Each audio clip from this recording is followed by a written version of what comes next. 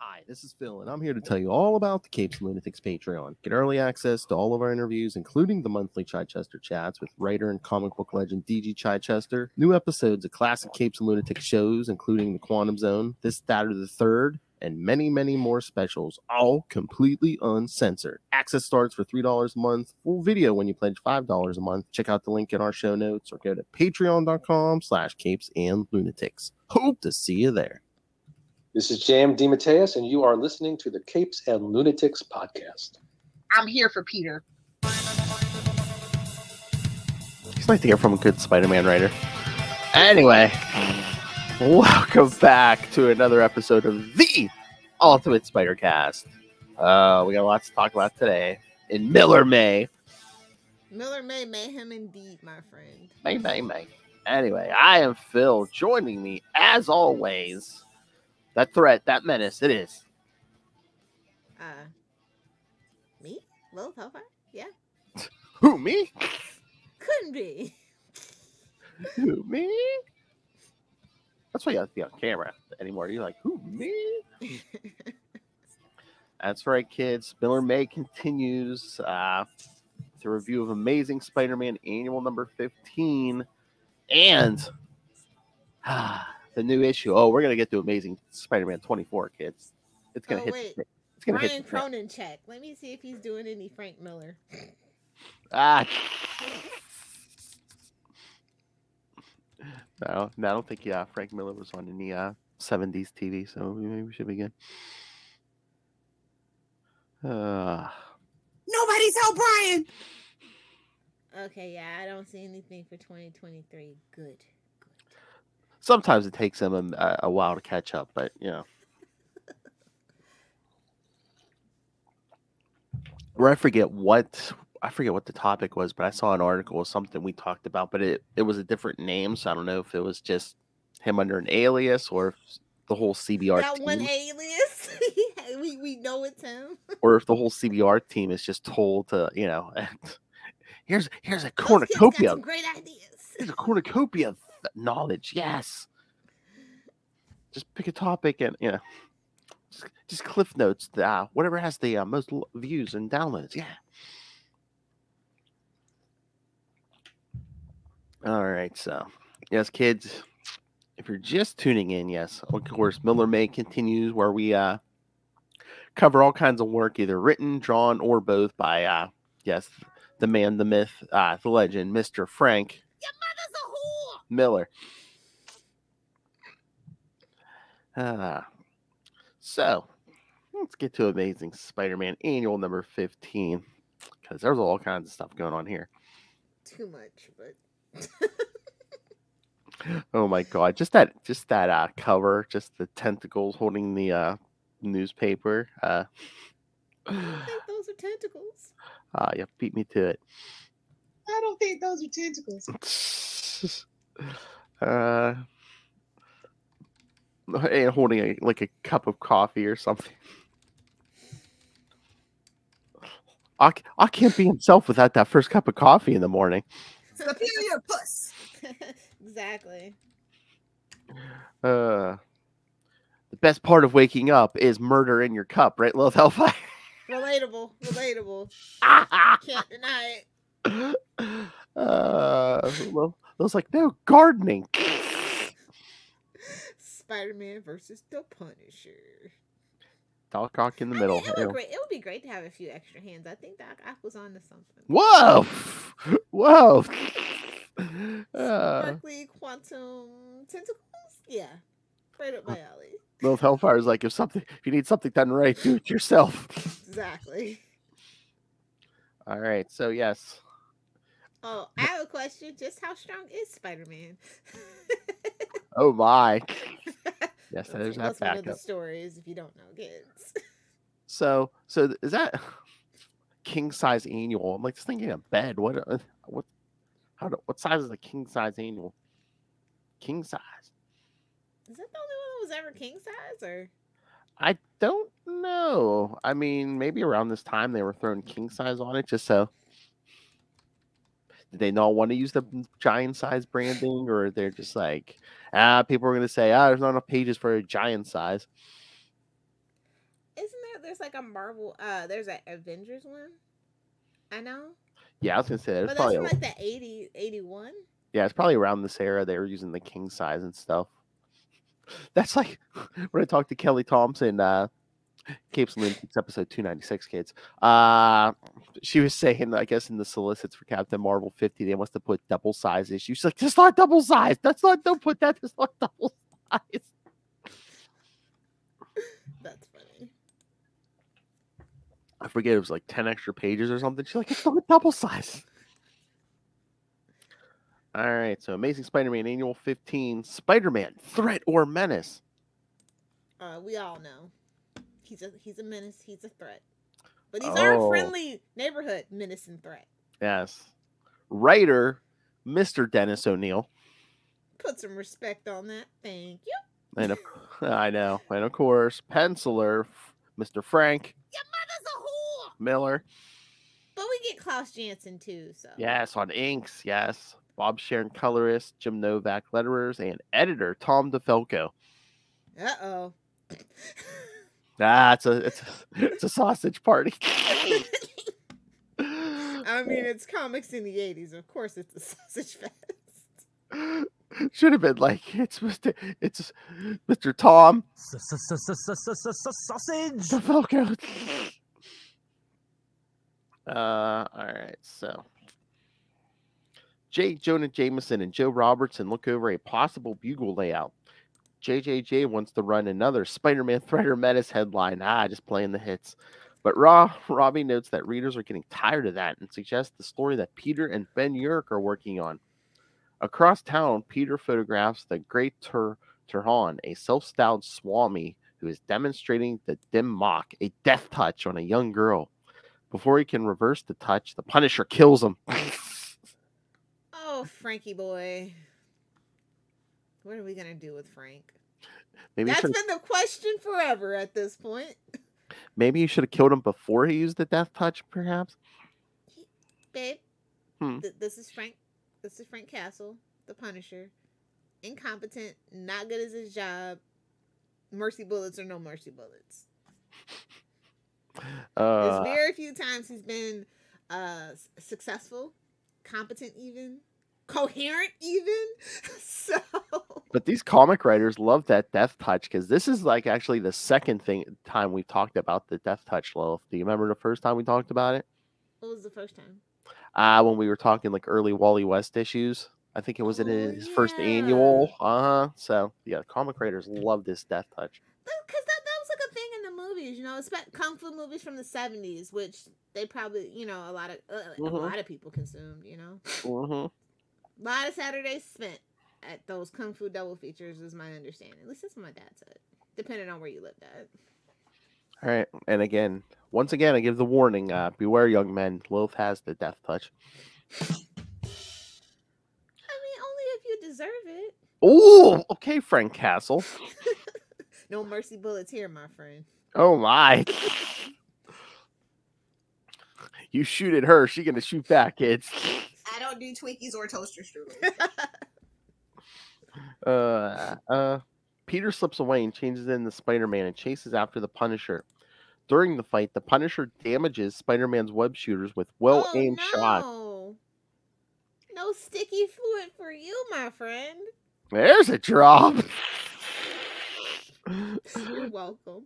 uh, Superior puss. uh, but uh, the, Frank Castle actually thinking ahead and be like, "Yeah, let me shoot, let me shoot the web shooters right off his wrist." I mean, it, it, it's Denny. You know, he put some forethought into it. Still, the wall crawler comes after him. Ultimately, the Punisher gets away after stunning the wall crawler with mercy bullets and dousing him with a non-toxic knockout gas. Boo! Boo! I don't like this at all. Phil, I don't like this at all. oh, Denny. Uh, Honestly, though, I, I think this Punisher's still better than the current Punisher we have. So hmm I can't. I really don't remember the last Punisher story I, in modern times that I actually really liked. I can't think. 80s, to be. early 90s. Yeah, I was gonna say it had to be before two thousand two. Mhm. I'd say it's probably not past mid nineties. Nah, I'd say I, I like some of the stuff like in the two thousands. Uh, if not anything, just the art. Yeah. But yeah, I don't.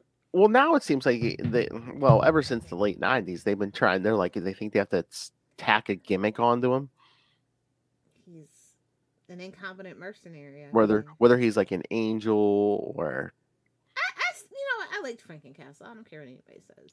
or Frankenca- Frankencastle, or he gets War Machine armor, or now he's part of the Ham.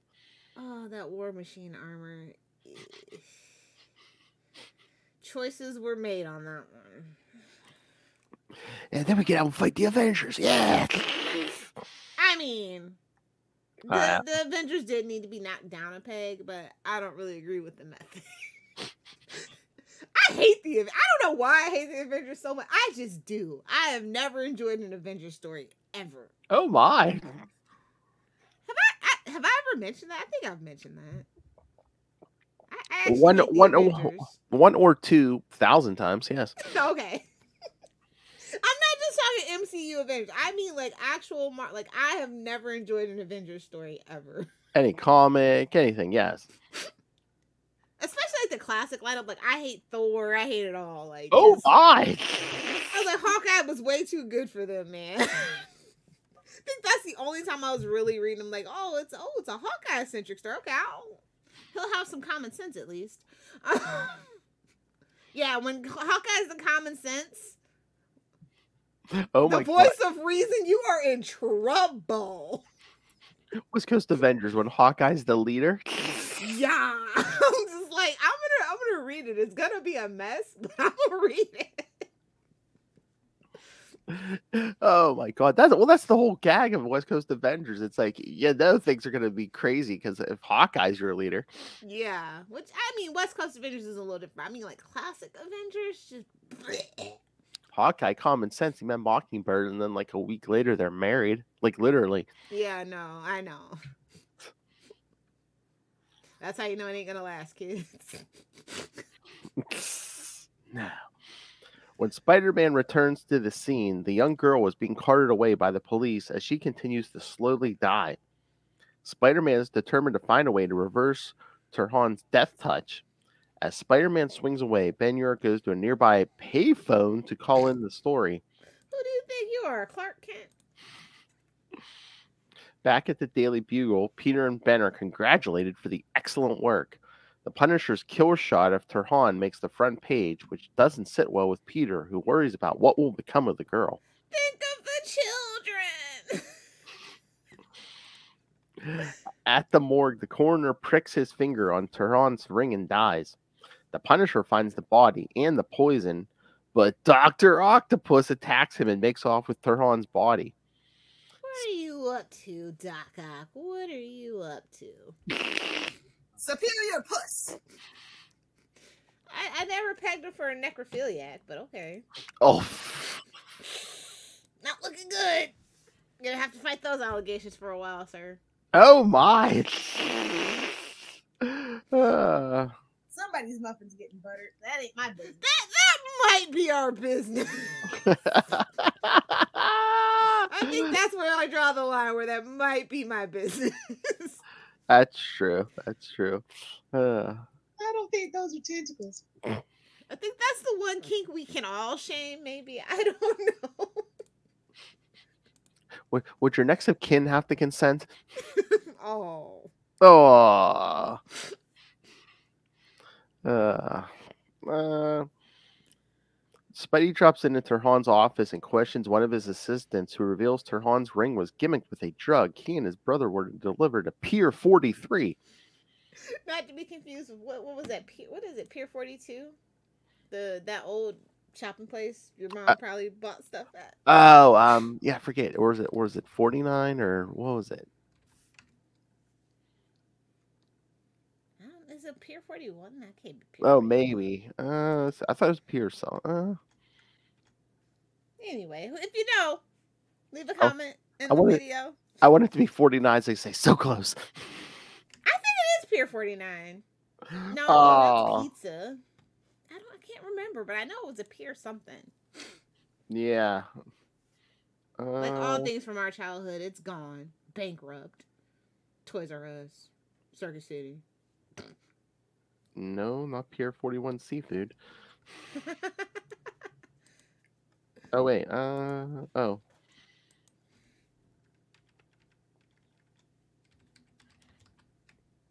Don't poke the ADD, love.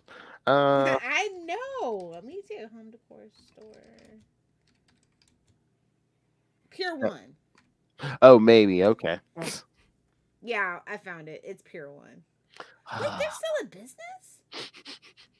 Probably in select locations. Interesting. Or did they scale way back or something?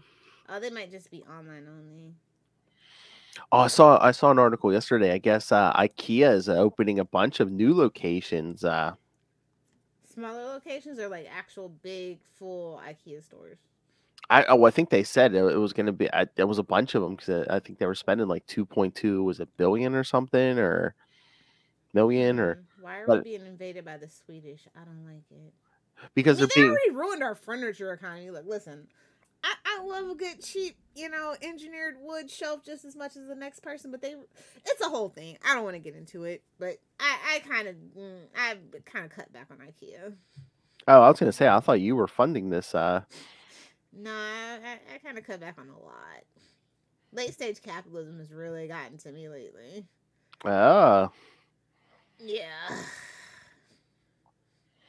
Late stage capitalism. Choke that chicken. They're choke. We're the chickens. Jokes on us. Oh my! Anywho, let's uh, let's pick it up. More upbeat. Please send me the pictures of that underground bunker you're building down there. All right. Uh,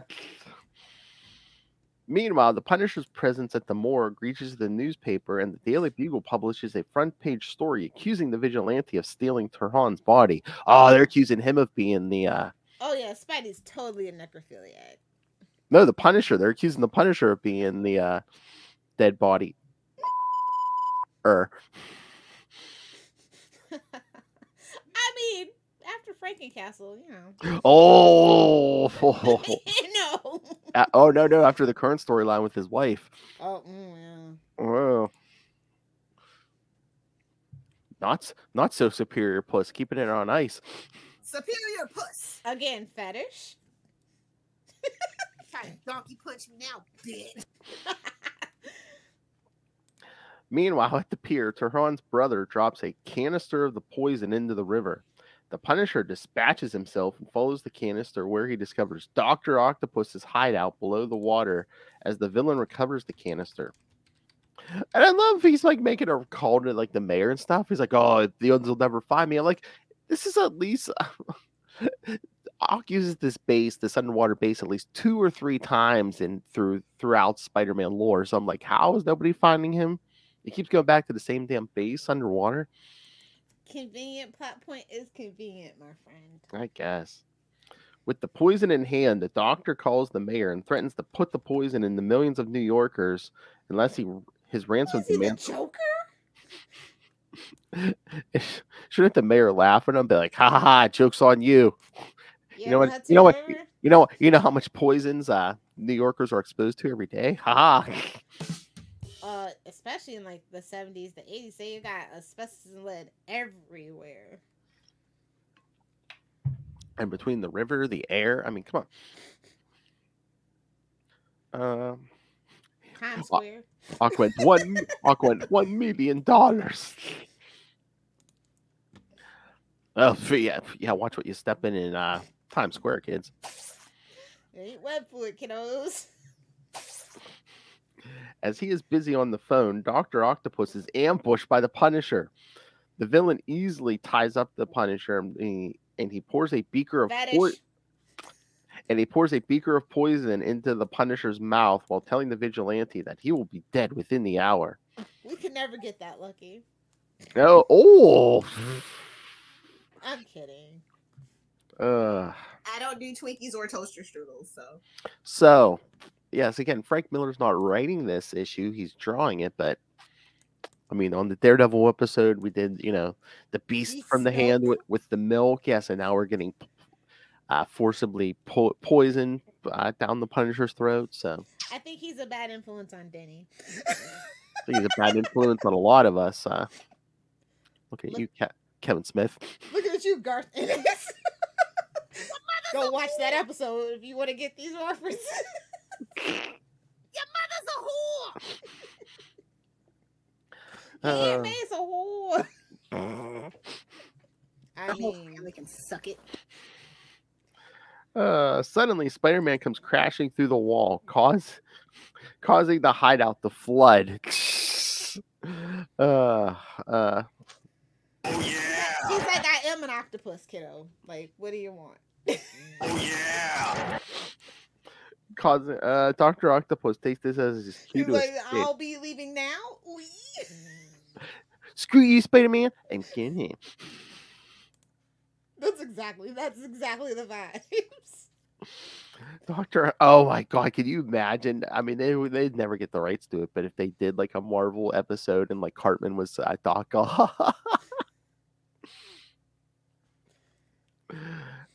Coon and Friends rebrand. no cow, I said tentacles.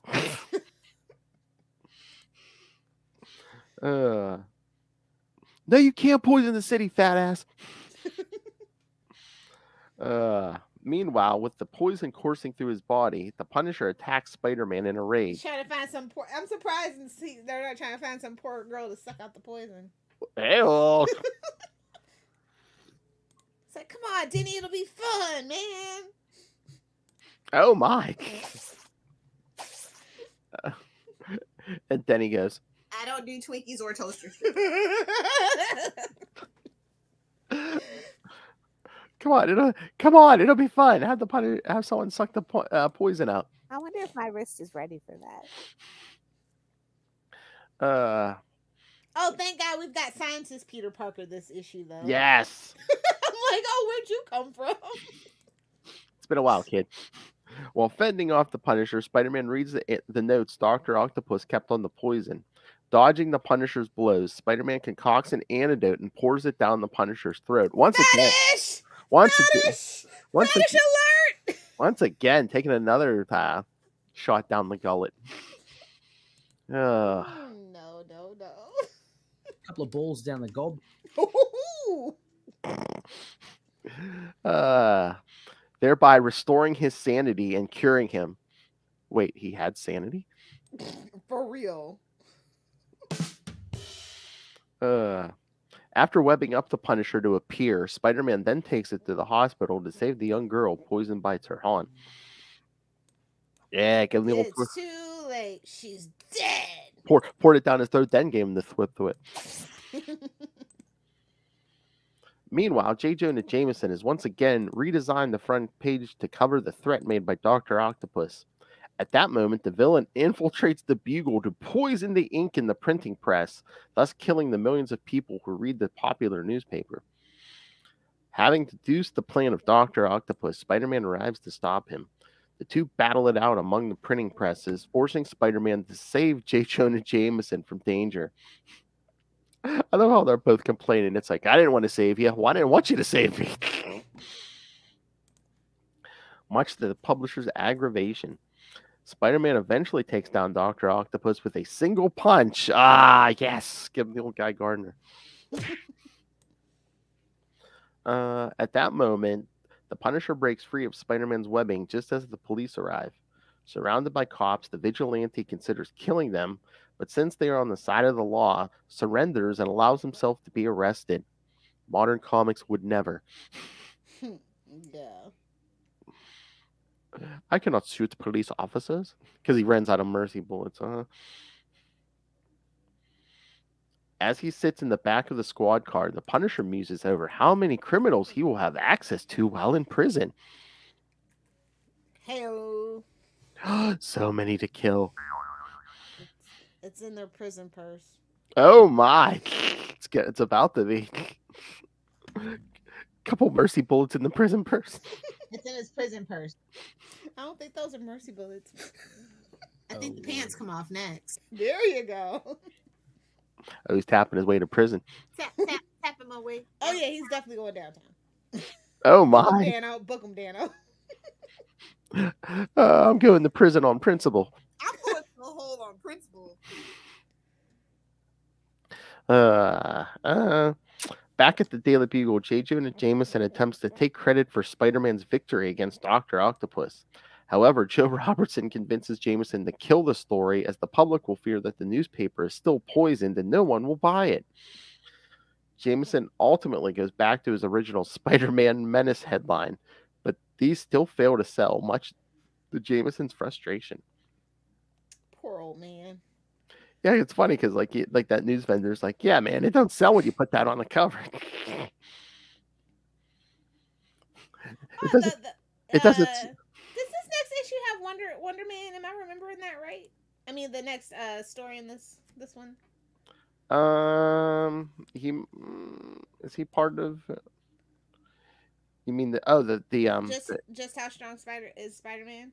yeah yeah yeah because he's standing there but yeah between Hercules and Iron Man. Okay, yeah, that's probably why I didn't read it. Oh my. Oh, Thor's in it too. I think. That's why. yeah. Yes, on the same in that same panel. Yes. I was just like, nah, nah, I'm good. Hey, uh, hey, Justin. Uh, Namor's. Uh, there, we got a shot of Namor there too. Though. Yeah, yeah. My favorite biscuit. Mm, yeah. There's a couple of really cool things in here. Uh, Peter Parker's apartment and then the gallery of Spider-Man's foes was really cool too. So I know. It's, it's so funny that do do like Peter Parker's apartment. It's just like over here we have the cigar store Indian.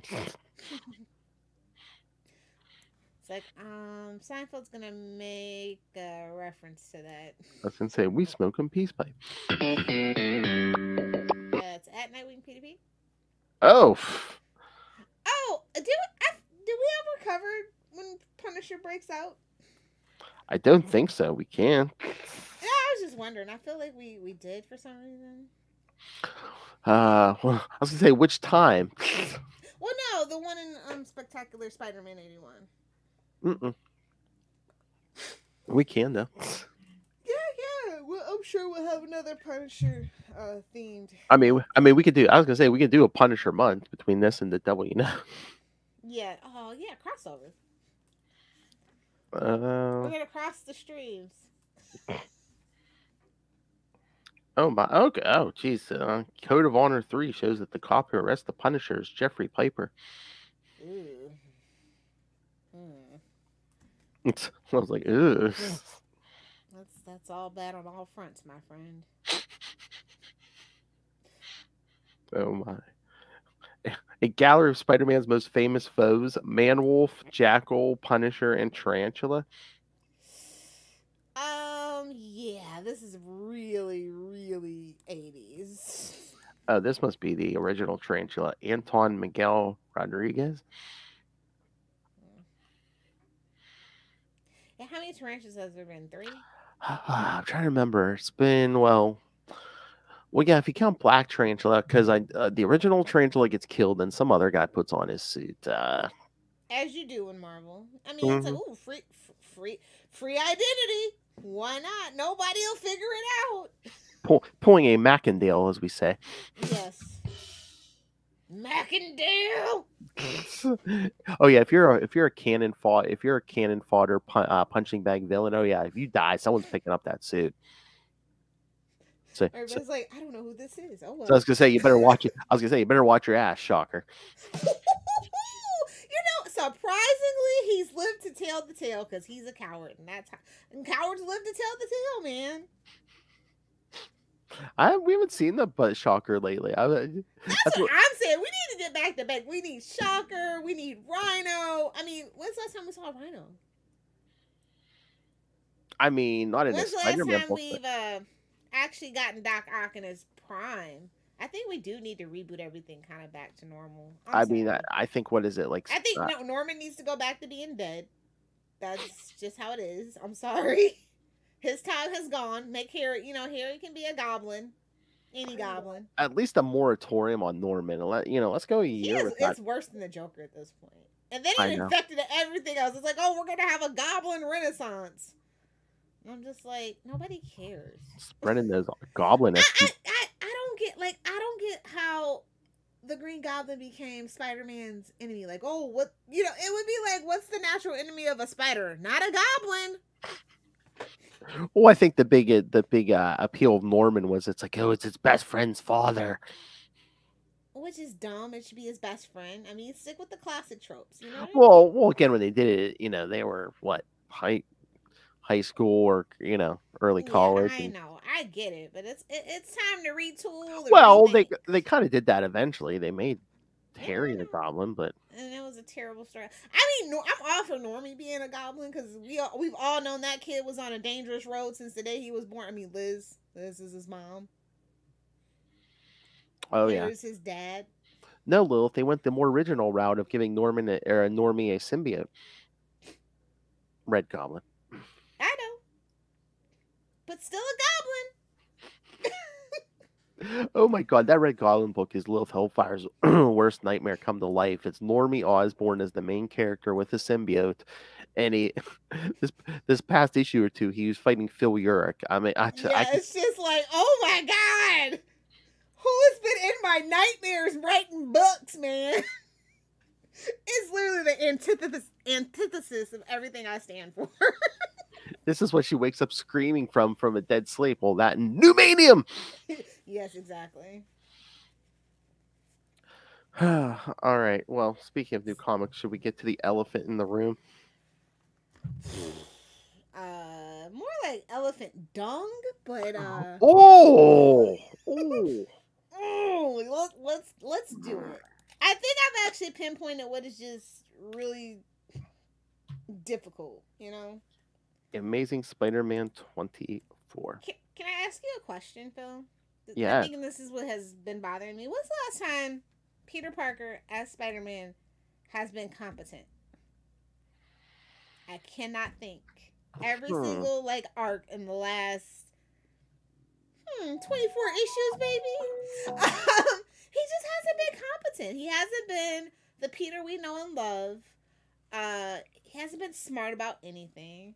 He's reactive, overreactive at times. Um, he doesn't have a good relationship with anybody. Why should we care about Peter at this point? This Peter. I mean, no wonder you're not getting new readers. I mean, because it's like the, it's it seems like I think current Spider-Man they they wish that Stan had never like aged him up and stuff, but it's just like Well, he They they- they- grow up and get over it. they kind of want to make him relatable to young, younger people, and for some reason, We have Miles. Like, They- I know, but they but they think that means making him stupid. So it's like, oh no, no wonder you're not getting new readers because you know they pick up a book and they think you know they're like, oh, Marvel thinks we're idiots. So yeah.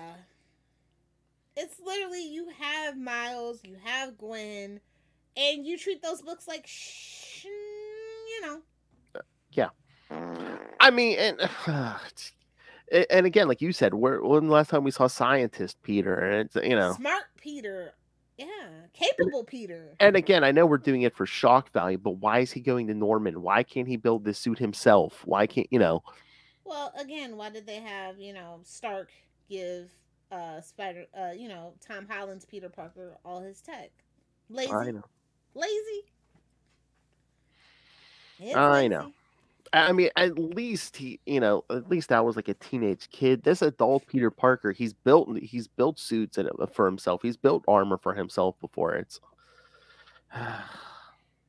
Convenient plot point is convenient. I, I, mean, this is based in Brand New Day, so everything, every choice is gonna be dumb as hell. that is the biggest thing that tainted Spider-Man. No, I'm serious. That's just no, like we know. one more day, brand new day. I mean, we've never the the brand has never recovered from that. Preaching to the choir, brother. I know. I know. but they don't know. They don't seem to know it. They don't seem to get it. It's been 15 years. It's been 84 years, and it feels like it. So that old lady was just a liar. And a bit of a tramp, if you ask me. Chances never zero kids. But, Ugh. like, okay, so there's a few things that we, uh, you know, as Spider-Man fans from a certain time, expect to just be baseline, and that is Peter and Mary Jane. He, Mary Jane is basically Peter Parker's lightning rod, right? We can all just agree to that, right? Yeah. and they have been fighting that tooth and nail for some reason. I don't get it. Again, there's a certain segment of Marvel higher ups who don't want them together, and I don't know why. They think he ages the character or something. And I'm just like, like I keep saying, people get married at 18. Some of these people get married at 18. How does marriage age you up? Yeah, exactly. I mean, listen, Captain America and Fantastic Four couldn't, couldn't save this story, you know? I mean, I again, I've been reading Spider Man since I was 10. When I started reading, it was 1988. They were already married. I had no problem with the marriage. You know, as a young kid, I was just like, oh, cool. You know, Spider Man has a wife. He has someone to come home to and talk to about his day. Exactly. I bruised my knuckles on Shocker's face. Come on. As you should. but like that's what I'm saying. Like I don't think they like a lot of these writers, they they it seems like they kind of grew up on the same comics that we did for the most part. Um, so I don't get how and they should have the same sensibilities that we have and they should you know what I mean? And it just it just Well- feels weird. Well, I think that's why Brand New Day came about, is because you know somebody somewhere in that office was like, "Oh, I I read Spider Man back in the day. I loved him when he was single. We need to go back to that." And whoever made that choice, I hope they got fired. I hope they gave him the old Dan DiDio out of DC. Seriously, oh, I mean, they rub, they're still rubbing their Brand New Day over this. I don't care what they say that they're not they still literally there. are flagrant, flagrantly flaunting it. So, Mhm. and it's like, babes, we still haven't forgiven you. Never forgive, never forget. Like we literally say that every week, basically. And kids, this isn't us. I mean, everywhere I go, the internet's in an uproar about this. Two hundred and twenty-eight episodes. I'm pretty sure we've mentioned it at least two hundred and twenty-five times. Maybe, sure. maybe a few less because the Bad Babysitters Club swings around once a month. So. touche, touche. but I, and again, and like I, like I saw the internet bringing this up too. It's like at the end of this story, you know, Peter gets back with Norman's help, ugh, but uh, you know, of course, in this uh, other universe, I mean, if Ti- you want to make time- Peter time- a villain, yeah. time may have passed. Well, well, not even that, but it's just like you know, when they started the oh, what did Peter do? You know, It turns out it's nothing. they're like they're like this is what Mary Jane was mad at him for. It's like sh- a- again, it's been years. Again, she, she was probably lonely, but it's like she's the one who slept with somebody else. She's the one who had two kids with somebody else, and it's like why is she mad at Peter? Cause she, hey, your mother's a whore. Oh, Oh, somebody's. Uh, I see. We're going to the Frank Miller School of Writing.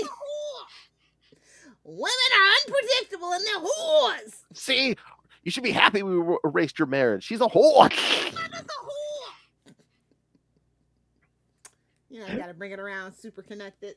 so, so, oh my, we're doing me now. Uh, but uh, We're doing me now. So yes, Peter shows up. She has a whole family now, and it's like. Our whole family can suck it. Basically, That's basically what the internet's been telling them uh, this last couple of days. our whole family can suck it. It's poor decision making at this point. Because it's like I mean, this is like DC levels of floppitude. This so- is- this is I mean again this is you know this like the stuff Nick Spencer did you know eventually you're, they're gonna have to wind this back and it's gonna you know it's gonna have to be oh yeah you know the guy hypnotized her and you know those those aren't her kids she didn't give birth those are clones or something They're robots, Phil.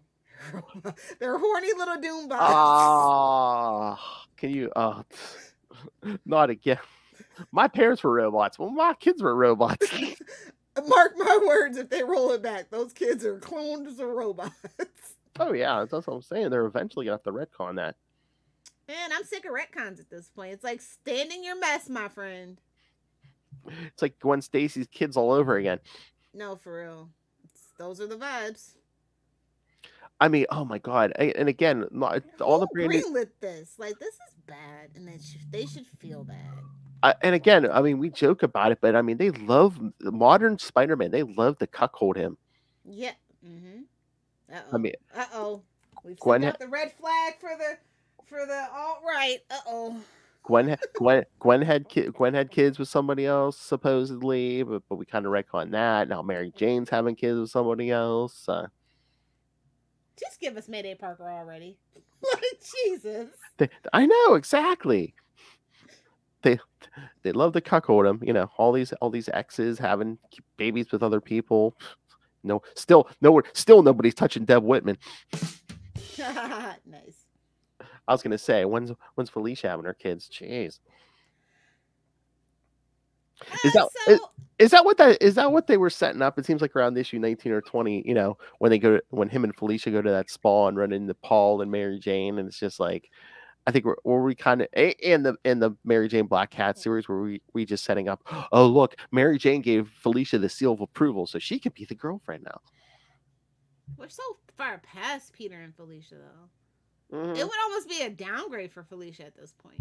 Oh yeah, I mean she's had so much more character uh, growth since just bring back. Flash Thompson.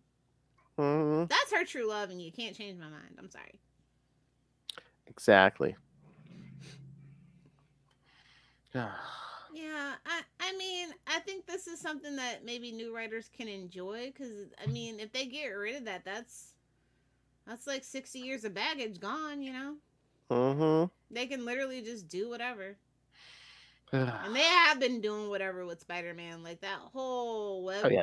that whole web thing, the web web of Spider Man.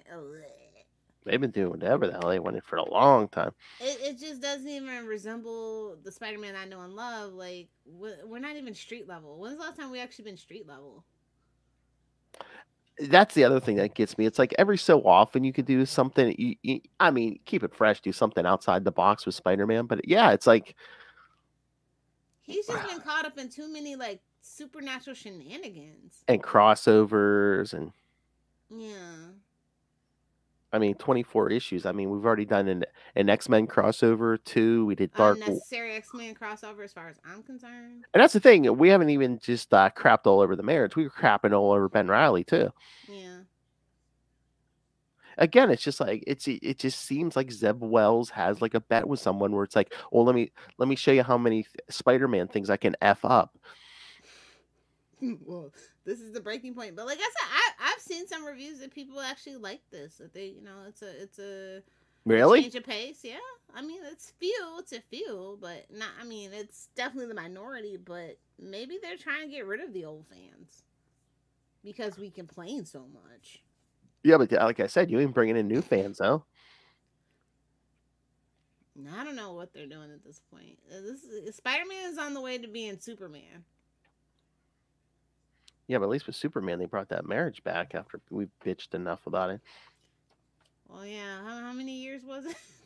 I mean, it wasn't too many because it's what what's what um, you know, New Fifty Two that got rid of the marriage, and then it's like it's Came back in Convergence, but then it didn't officially make mainstream till like Rebirth or whatever. Yeah, That might have been like what five years or something. yeah.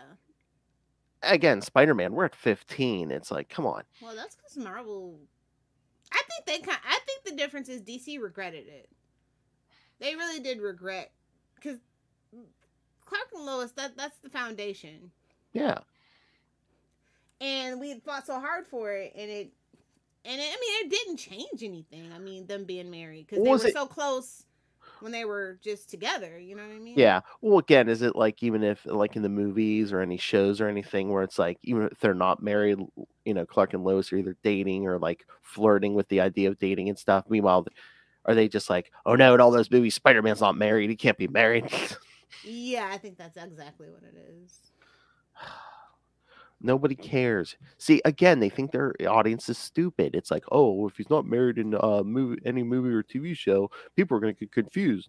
well and it, i know i don't get it because like M, like i no offense i hate mcu only fans they're the worst Well, again, I mean, I, I, and i think that's what's contributing to it honestly it's like oh tom holland and zendaya can't get married when I when I talked to that guy, uh, the one guy, um, for that for the Ghost Lord documentary, uh, the one guy he used to own a comic shop, and he said, you know, I think I think he got out, well, you know, once the pandemic hit, but he said he's like, he's like the the MCU movie fans weren't coming into the stores to buy the books. i could have told you that. Yeah, They buy the funko pops and that's about it. He said he said you know what 2019 there was a black panther movie and avengers endgame and he's like you know those you know Avengers, the Avengers books and Black Panther. None of those books saw a boost when those movies were out. Yep. No matter how hard they pretend, it's just not. It's not gonna happen. No, no matter how much how much you draw uh, Falcon to look like Anthony Mackie, people aren't buying it. Well, uh, you know, the MCU fans are younger and they love to pirate. I'm just gonna be real with you. It is so easy to pirate a comic book. Why Mhm. would you go buy it? Why would you leave the comfort of your own house to go buy it? Or They if don't understand that, like, like the the younger fans don't understand that actual culture of like community. Yeah. you know what I mean. Of And that's going to your they're- local comic book shop, supporting the small businesses, uh, reading in the, you know, getting the back issues. Like it's it's that culture's just not there for them. if they, if they're even reading the comics. Yeah. Oh, oh, they're reading them. They're just pirating them. Trust me. Okay. I, I'm, I, when I was on TikTok, that that's what the kids love to do so much. Or they love their webtoons, you know. And it's, I mean, there's one thing like I literally probably own over a million dollars of comic books. So if I do pirate a comic book, chances are I'm probably still gonna go buy the floppy. I just want to read it before I go get it. Yeah.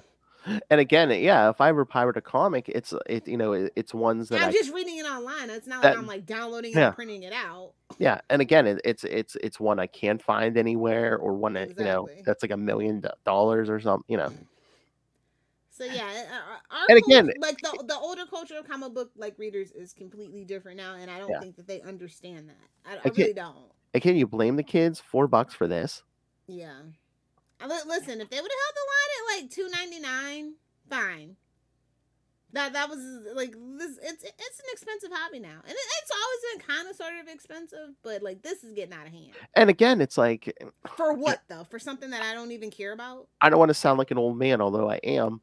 But it's like you know, back in the days when we were paying one dollar, two dollars, we were getting better stories. I'm sorry. We we were. I agree. Listen, I agree. So it's like you know, the price has gone up and the quality's gone down. It's like I don't blame people for pirating or not coming back to this. Yeah. I mean, that I'm not, that's not that that's a Spider-Man thing. That's a that's an industry thing. Yeah.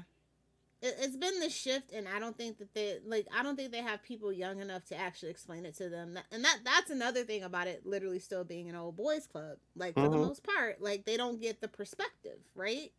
And Spider Man, Superman, like all the mainstay character, Batman, even like you get that myopic viewpoint still. hmm Like, Mhm. Can we get a woman writer? Maybe something. We need a we need a different point of view at this point. It something needs to be done and shook up. This needs to be shook to the core and returned uh, to basics. I think that they just think the basics are boring, but the basics is what we want.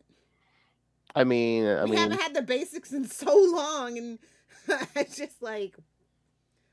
And I, I mean- think that's why Spider-Man: Homecoming did so well. I mean, literally, they returned him to being a teenager. We're we're getting a best friend and a girlfriend. Like, read the room. We we want that. I mean, the, I mean, the basics back in the day is when you were selling the most amount of issues. Uh, You'd think they would try to get back to that baseline, but I don't think they care about the comics. I think they're just. I think they're trying to ruin the comics brand because they're tired of being a publisher. Disney doesn't want to publish comic books anymore. maybe, but I mean, I again, I miss the days when we'd swing by the bank and shockers trying to break in. Yeah. I, I do miss a good classic bank robbery. Hmm Or Even or Doc Ock has kind of outgrown that whole white suit bank robbing phase too, unfortunately. I know because because he is uh, he is supposedly showing up uh, in issue twenty seven and twenty eight, I think, and it's like, yeah, he's not wearing the white suit. I'm like, where's my white suit auto? Yeah, er- like I mean, the more things change, the more things stay the same. Like I guess like that that particular Doc Ock probably isn't everybody's fancy, but I don't know. I'm just kind of sad. Maybe like I said, I feel like I'm aging out of comics because these these the ne- the new guard of comic book writers. I don't know. They just don't inspire me anymore. I get it because it seems like as you grow, like a lot of our favorite comics regress. yeah, and then like a lot of our favorite writers are also like dead or retired. So Exactly, but it's like yeah, and it's like again, like like we made made the point this episode. It's like when's the last time we had smart Peter Parker? It's been so long. I mean, I'm not saying he he shouldn't have any troubles and he shouldn't be able to fix he shouldn't be able to fix every problem, but again, he's Small, simple things like building a suit ain't no way. Ain't no way he should have had to go to Norman. This is how this That is thing- convenient plot point is convenient if I've ever seen. It's lazy. I know. I, I It get is it. lazy. He did that just to get to the point where he needed Peter to be with Norman, and that's just lazy. It does if it doesn't make sense, it's lazy. It's a MacGuffin. I mean, uh, yeah, the the whole thing with Norman is just for shock value. You know that. Yeah, of course. I, but again, this is how this is this is the whole thing we built the whole franchise on. You know, Amazing Fantasy 15. He's building his own web shooters. He's he's doing he's Somewhere, making listen, I think a lot of these writers are just lost. They just want to put the, they're giving it the Bendisham. I just want to put my stamp on it. I don't care about the the consequences of that and what that means for the brand, for the fans. I'm gonna do what I want to do, Marvel DC. and you can't stop me. Editorial could have stopped this. I, I, I, they didn't. They, No. they, they published it. So Marvel, DC. I, I will throw it out there. I hell, I will consult for free. All I would just like is a little blurb in the issue, be like, "Oh, special thanks to Phil Perich of the Capes and Lunatics Podcast Network." but I'll help you. Me and me and Lilith can help you write your ship. You know, I can fix DC. They just don't want to talk to me, and I get it. I, I bash them. I've bashed them for what a decade now. I've been right every time though. again, like, like I said, I can help you write the Spider-Man ship, kids. Just give me a call, It's right down there. Uh, but because it, you have nothing to lose. Like again, if it works, hey, your your your stuff is saved, and if it doesn't, you can just say "Ah, amateurs. Yeah. Well, which is what it feels like it's writing this book at this point. No offense as I was, but like I said, I've been really drained reading modern comic books. He was like the Spider-Man filling guy. He ain't he, he's not the full time, but he, he he shouldn't be the Spider-Man full time guy. well, we we've come to find that out. He at least needs a co-writer, I think. Yes. Yeah, yeah. Because that's the thing. The, the the story he wrote that uh, this whole stupid dimension thing is based on. It was from Brand New Day, and that, that was what that was the thing. It was rotating cast. They did an arc. They were out. The next guy was in. And they they kind of did that with Beyond, and I think they should have kept doing that. And that way we wouldn't have got stuck where we are right now. They should do that for a while until they uh, they figure out to take that. You know, do that for like a year, and then have you know the ri- the readers can vote and be like, you know what, I liked you know writer B's take the best. Make him the regular him or her the regular writer. Yeah, I we, we definitely need a fresh perspective um from Spider Man. I I am just so sick of the old guard at this point. I don't know what to do. And he's not even the old guard. He's like the mid guard. Like we need. I don't. I don't. I think we need somebody from the past to kind of write the ship, and then we can pass it on to like a new. Like, cause I'm all for like new blood being in the comic book industry. That's what it's all about, passing the torch. But it's like these guys don't even want to pass the torch and teach these younger guard anymore. It's kind of crazy. You know who we need to write the ship, and then we can bring in a new writer to keep it going. Oh, you know what we do? What? Oh, we got to go '90s, baby. With Mark Bagley art, you bring in J.M. DeMatteis for a while. I'm down for that.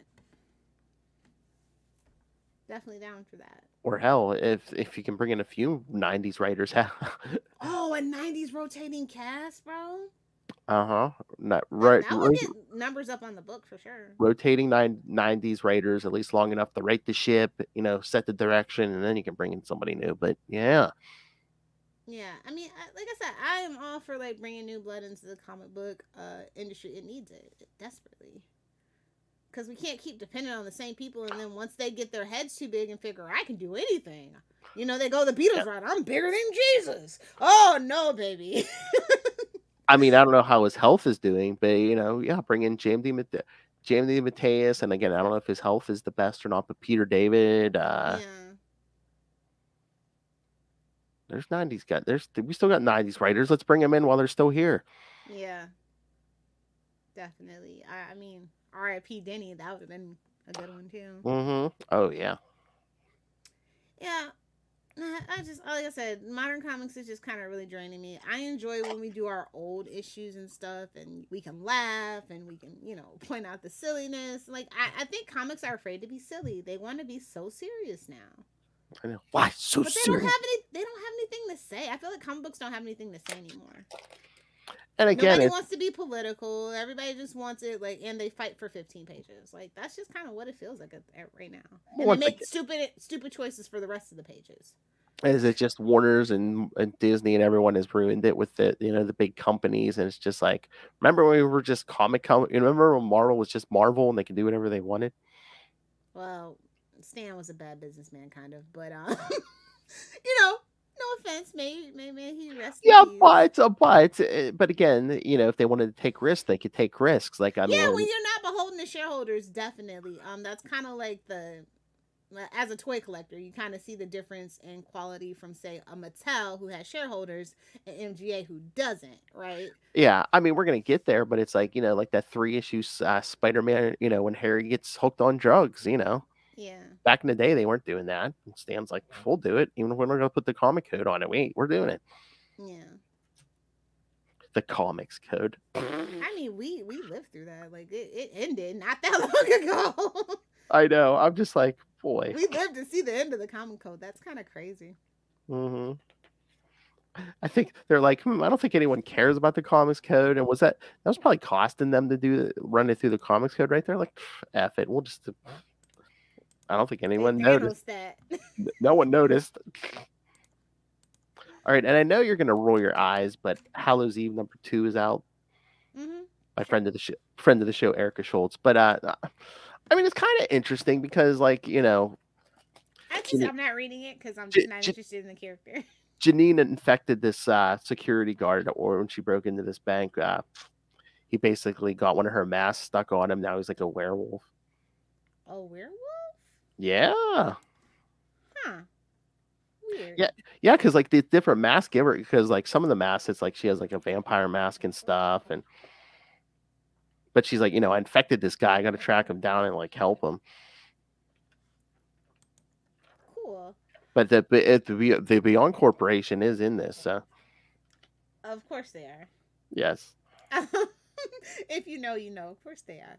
Um, but I do. Can I just shout out Hellcat number two because yes, that was a good book and you should be reading it. yes. I've been enjoying uh, Hellcat. Yes. Shout out to uh, Christopher Cantwell, uh, the writer, and Alex Lins on the art. I, I I I like Patsy. I'm glad that they remember she exists, and I kind of like this new fresh take. So Yeah, Christopher Cantwell must like her because yeah, this spins out of his Iron Man stuff where she was Yeah. appearing. Yeah. so yeah. That note, kiddo, give him the homework, I guess.